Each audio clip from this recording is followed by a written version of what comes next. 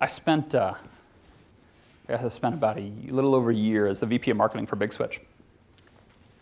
Uh, and, you know, I, when I kind of first started it, our self-described mission was something along the lines of uh, we build software-defined networking style operating systems for bare metal switch hardwares to power next generation packet brokers and leaf spine L2, L3 Clos switching, switching fabrics.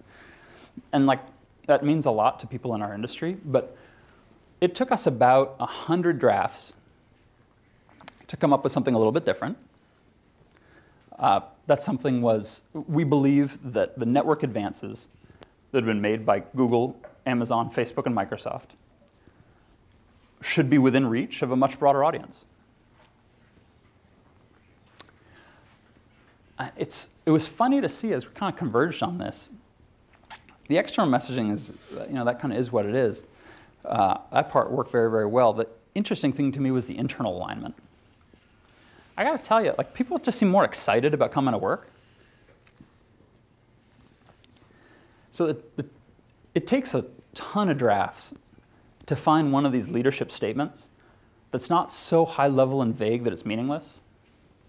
It's like a food bank, like a you know, 10 blocks from my house.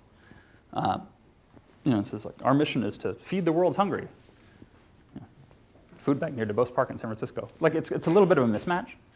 Um, and then it's really hard to come up with something that's not so detailed that it doesn't really resonate. So getting the, getting the right leveling there is something that takes drafts. And if you find yourself in a leadership spot and you're trying to articulate your own why, and you're trying to articulate your organization's why, I'd urge you to have patience.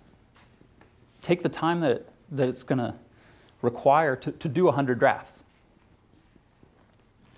And the end result of all of this work is probably very, very short.